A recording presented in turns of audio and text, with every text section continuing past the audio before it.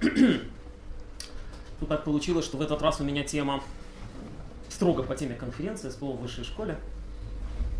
Иногда так случается. Ну ты исправишься. Эм, Ну, однажды, да, однажды, я надеюсь, я еще исправлюсь. Вот. А сегодня придется послушать, как я и мой не приехавший соавтор хвастаемся, как мы внедрили курсы, практикумы, точнее, лабораторные, э, по программированию встраиваемых систем в БГУ и в Брестском государственном техническом университете. Ну, э, немножечко, прежде чем мы обсудим тот слайд, который сейчас виден на экране, немножечко предыстории.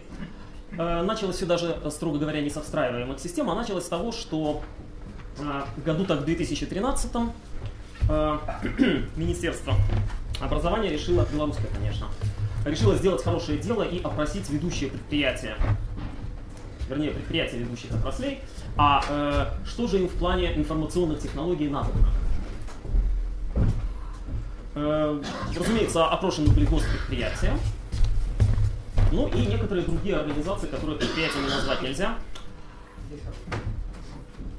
Разумеется, программы учебные они сильно не вникали. Вот. И э, по результатам их ответов был спущен сверху очень хороший план, в котором, среди прочего, значились как э, комические э, элементы на вроде Pro для DOS, для которого, я уж не помню, у какого завода э, возникла проблема найти хоть кого-нибудь, кто помнит, как этим пользоваться, э, так и, э, на удивление, приятное. В частности, э, использование библиотеки Qt э, очень хотело Министерство обороны и очень хотел, не помню, какой именно цементный завод. Да. Ну и, э, собственно говоря, э, GNU Linux активно, надо сказать, э, позициях в пяти этой большой таблицы числился. Э, Самое приятное было в том, что нас обязали ответить, когда и как мы собираемся это все внедрять, а потом в рамках классического планового подхода к построению экономики писать отчеты, как мы это сделали. А потом уже внедрили. Не-не.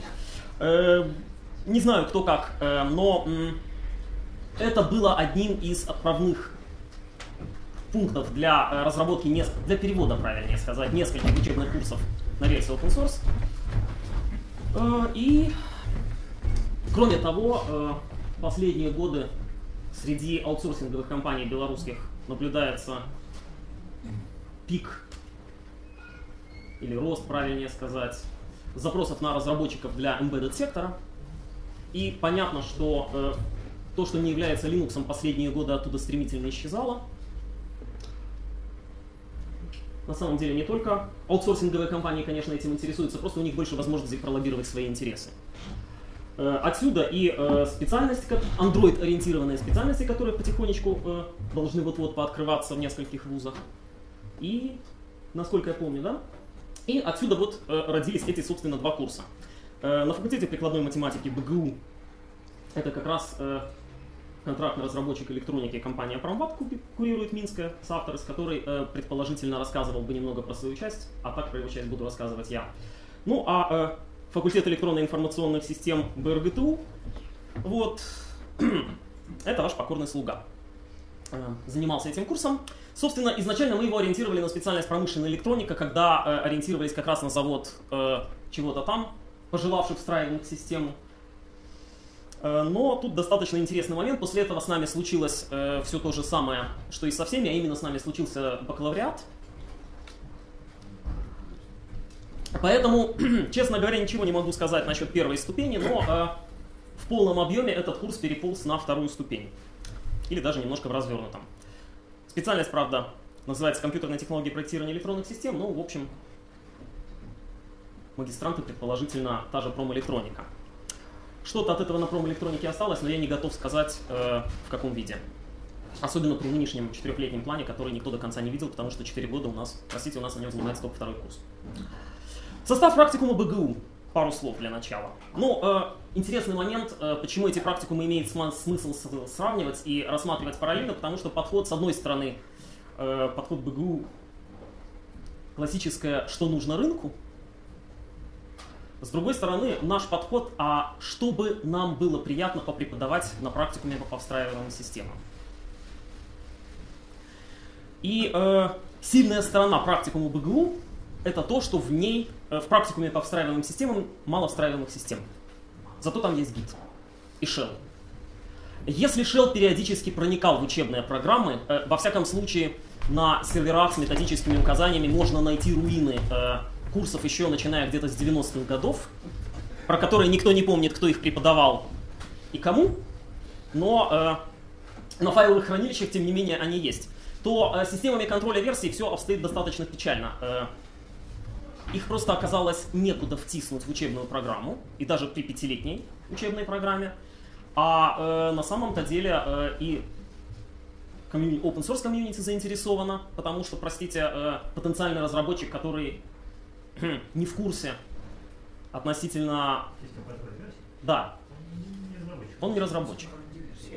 Вот. И, э, собственно, это же интересно и аутсорсинговым компаниям, относительно достаточно крупным, по крайней мере.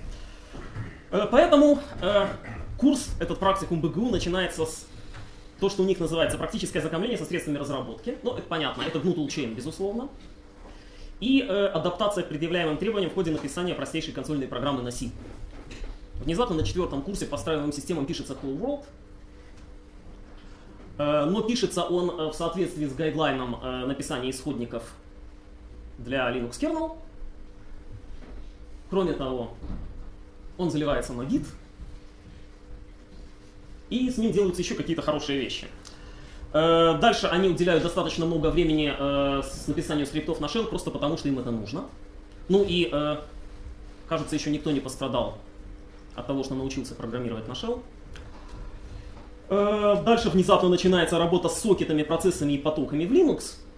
А вот э, последний пункт, который вы видите на экране, это очень интересно. Написание серии программ по ядру Linux, в скобочках программирование char, sys, dev, proc, устройств, взаимодействие с таймером, прерыванием и т.д. Это, кажется, одна работа. Одна. Да, если не ошибаюсь. Э, Это не значит, что все все программируют за те 4 часа или сколько там на эту работу выделено. Состав практикума БРГТУ. А, да, но пока к БРГТУ не перешел, э, надо сказать, что студенты, которые в БГУ изучают вот, разработку для встраиваемых систем, потом пишут по этой теме курсовой. И там мы увидим на слайде, до э, ядерной разработки все-таки немного доходит. Э, Состав практикума БРГТУ, как я уже сказал, был в значительной степени продиктован нашим собственным любопытством. Исходно ориентировался на специальность промэлектроники. Э, Одним из руководящих направлений вот этого документа, с которого я начал рассказ, были процессоры ARM, которых очень не хватало кому-то из предприятий. И надо сказать, что ассемблер этих самых процессоров ARM весьма необычен и очень привлекателен. Э, Это не классический риск, в смысле э, урезанного набора команд, которые все за один такт выполняются и потому э, лучше прогнозируемы. Это не система CISC типа x86, в которой команда может выполняться безумное количество времени, но зато там есть все, включая какие-нибудь синусы и косинусы. А, это такой достаточно хакерский, я бы сказал, подход, когда э, если оперант, поступая в арифметико-логическое устройство, проходит через что-то, что может с ним что-то сделать, например, через двиговый регистр, то программисту нужно позволить написать э, какой-нибудь префикс, суффикс или еще что-нибудь волшебное, чтобы с оперантом это волшебное случилось, если это не замедлит выполнение инструкции. В результате инструкции получаются прогнозируемыми. Ассемблер получается очень необычным и очень э, располагающим к написанию трюков различных. К дальнейшему чтению. А, а какой ассемблер располагает к дальнейшему чтению? Никакой ассемблер не располагает. Э, На нем пишут совсем не для того, чтобы это потом читать. Вот. Поэтому э, здесь нам бояться было нечего. Ассемблер ужасен по определению, в смысле читаемости. Э, и э, давно чесались руки, а тут был такой повод. Поэтому, ну, понятно, синтаксис ARM, базовое средство кросс-компиляции, чем мы вообще гордимся и считаем, что мы молодцы.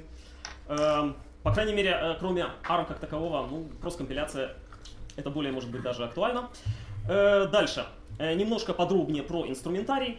Собственно говоря, тот же toolchain. Как вы понимаете, э, используется ли он для кросс-компиляции или для основной сборки под основную архитектуру, принцип не меняется. И, собственно говоря, сборка многофайловых проектов, файлы листинга, доступ к оперативной памяти устройства, немножко про вычислительные возможности, здесь же немножко про работу с энергонезависимой памятью. Достаточно низкоуровневый, то есть подход. Э, Предполагалось, что две трети практикума заточены, так сказать, под встраиваемые системы, работающие без операционной системы. Э, Дальше, э, понятно, система прерываний, совмещение ассемблерного кода и модуля на C, что уже ближе к реальному использованию, потому что достаточно мрачно писать на самом деле на ассемблере все, а вот какие-то фрагменты драйверов, да. И знакомство с базовым набором инструментов для компиляции установки GNU Linux на ARM-устройство. До операционной системы предполагалось дойти в конце и по мере возможности что-нибудь на классическом Linux написать, э, именно э, на встраиваемом на ARM, э, отладить удаленно с помощью GDB, но тут нужно сделать одну поправочку. Э, Существует отдельный курс у нас по разработке модулей ядра, я о нем когда-то делал доклад, поэтому именно в этот курс разработка модулей не попадала осознанно. У нас была возможность использовать этот курс для чего-то другого и достаточно интересного. Э, Вот это немножко про планы. Планах, как вы понимаете, значился студент, который по JTAG э, через кабель удаленно отлаживает что-то на конечном устройстве. Э, В БГУ планировалось, и закуплены они были, платы BeagleBone Black в качестве ARM-устройства. Э, Мы проделали то же самое, ну, чисто по организационным причинам нам это было удобнее, с атмеловскими платами на ARM. ARM 9 там, если не ошибаюсь. Реализация этих планов. Хм. Да. В БГУ. Э, BeagleBone Black это э, Cortex A8, э, очень, кстати, хорошая и замечательная плата, они наверняка куда-то пригодились. Вот, а в лабораторном практикуме они были заменены на x86, причем, э, на удивление, у этого оказались веские причины. Во-первых, студенты смогли самостоятельно выполнять лабораторные работы, кто же им лабораторный стенд-то отдаст домой? А во-вторых, если взглянуть еще раз на состав практикума БГУ, Там есть ГРАС. Ну, это у меня было, а не у БГУ. Да. Не путайте. Э, Там нет ничего или почти ничего такого, что требовало бы процессора ARM для того, чтобы это разрабатывать и вообще как какого-никакого embedded. Э, Все эти же лабораторные работы можно выполнить на стационарной обычной персоналке. По крайней мере, э, когда дошло время до проведения занятий, вдруг выяснилось, что это именно так, и решили использовать это как сильную сторону. Поэтому студентам, по всей видимости, показали BeagleBone Black, сказали, что это очень хорошая вещь, и выдали задание на x86. А. А где они там? А. Мы доберемся до курсового проектирования и станет немножко понятнее. ARM 9 в BRGTU был заменен на QEMU. А компьютеров нет вообще? Что? А компьютеров вообще? А QEMU на чем? QEMU это эмулятор. Не, ну одно дело выдать... э, Я немножко э, подробнее остановлюсь, э, как это делается. Э, Но э, главная на самом деле причина была, что, честно говоря, так мы могли просто больше втиснуть. Как ни странно. Инструментарий. В курсе БГУ, как я уже говорил, GNU Toolchain, Bash и Git это основное. В курсе BRGTU, ну, э, классическая, достаточно массовая сборка кросс-компилятора GCC для ARM, Source Record Bench ARM, QEMU, и в последней работе BuildRoot. BuildRoot это пакет автоматизированной упрощенной сборки образа для встраиваемой системы, образы на базе Ubuntu, BusyBox, конфигурируемые. И предположительно студенческой лабораторной работы, которую студент города потом выполнит. Что касается м, почему это дало э, достаточно приятный выигрыш во времени? Ну, во-первых, возникает вопрос, э, поскольку у нас там были лабораторные работы без использования операционной системы, с отладкой э, как-то все сложнее становится, да? Э, а у QEMU есть QEMU монитор, который позволяет посмотреть э, в любой момент состояние регистров эмулируемого процессора. И э, половину э, проблем с отладкой это нам резко снимает. Вторая проблема, с которой сталкивается студент при разработке программы для встраиваемого устройства, у которого может не быть дисплея, можно не уточнять, и у которого нет операционной системы, это, собственно говоря, вот вывод общения с окружающей средой. Разумеется, можно мигать лампочками. Вот. На большее часто не хватает времени. Э, В нашем случае э, мы э, для пары работ задействовали общение через последовательную консоль QEMU. Просто-напросто. С одной стороны, это была, правда, сильно упрощенная работа с портами, потому как она уже самонастроена. У арт, который всегда готов. С другой стороны, некое представление. И да, надо сказать, что ассемблерная программа это заметно упростила по сравнению с x86 вариантом, который мы же и разрабатывали под Linux. Э, И это позволило э, вот этот вот слегка сумасшедший армовский ассемблер без ущерба дать. Ну и э, как это выглядит, понятно. Кросс компилируется э, бинарник, потом заливается в образ памяти по нулевому адресу. Этот образ памяти подсовывается к QEMU System ARM, эмулирующему одной из армовских плат. И дальше, в общем, все понятно. Пара слов по курсу БГУ. Поскольку в этом курсе после лабораторного практикума еще был предусмотрены темы курсовых проектов, понятно, что был предусмотрен курсовой проект, не только его темы. Э, темы курсовых проектов как раз выглядят э, гораздо ближе к реальности. Во-первых, они э, приближены к тому, чем занимается, собственно говоря, компания-разработчик, курирующая этот курс.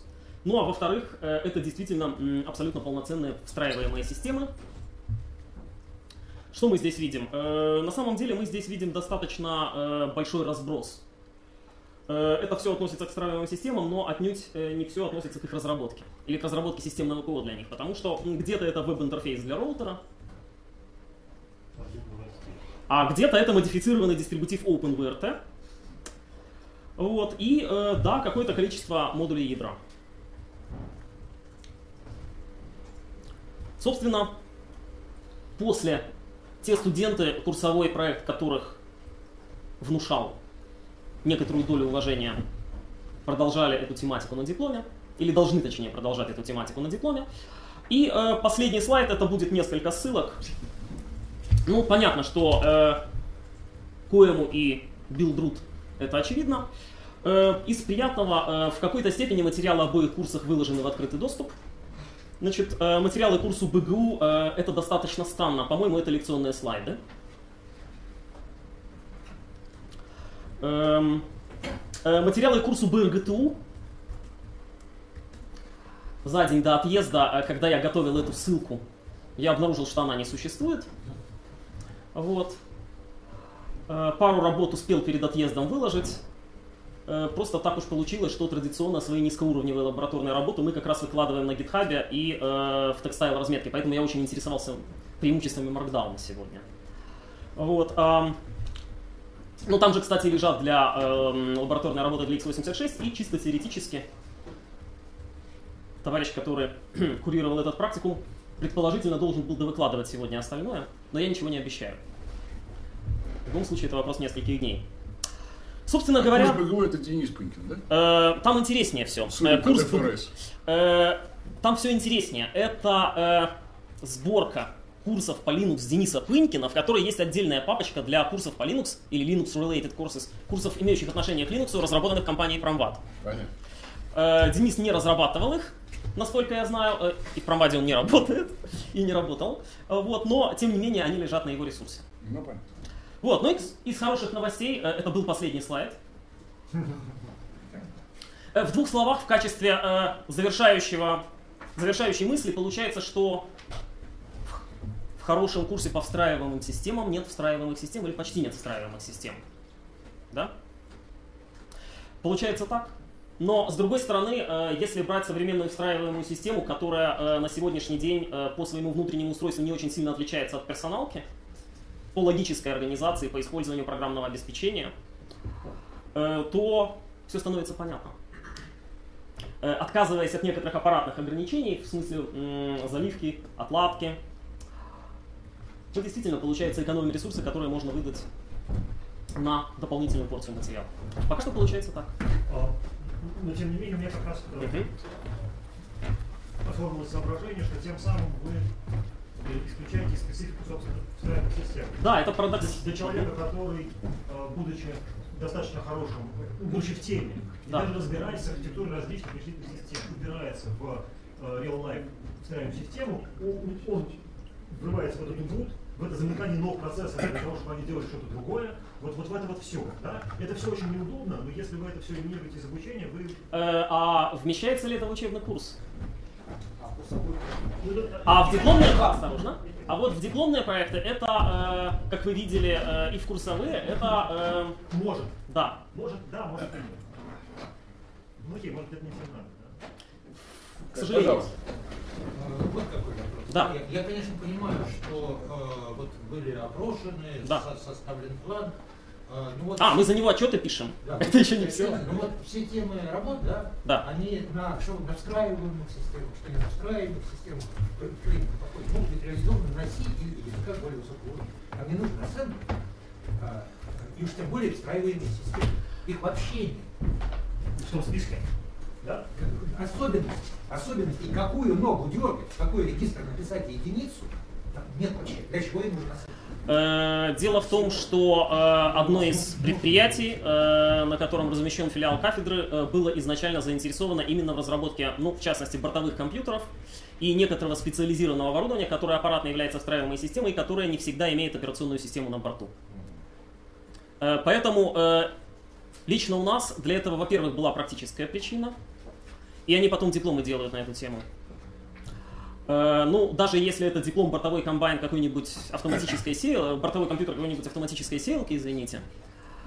Эм, и вторая причина, как я уже сказал, эм, мы просто воспользовали ситуацией и удовлетворили давно имевшееся желание все-таки поиграться с архитектурой ARM в учебном процессе. Но э, все не так тривиально на самом деле. Дело в том, что нынешний студент э, что он может иметь, э, какое он может иметь представление о процессорной архитектуре? Студент, программист, э, системщик. Э, в лучшем случае он хорошо, относительно хорошо знает архитектуру x86. Если у него было программирование микроконтроллеров, да, он может быть 52-ю серию немножко будет знать. Но эм, ничего более-менее мощного, но при этом абсолютно отличного от x86 платформы он никогда не видел.